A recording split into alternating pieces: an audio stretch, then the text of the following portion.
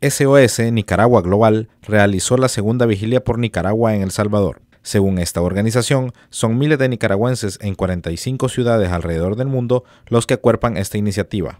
El objetivo de esta vigilia es acompañar la marcha nacional que se realizaría este sábado en diferentes ciudades de Nicaragua, exigiendo la liberación de los presos políticos con el lema Vivos se lo llevaron, vivos los queremos. Este 11 de agosto, la nación centroamericana cumple 116 días sumida en una aguda crisis política que ha dejado más de 400 muertos y miles de heridos.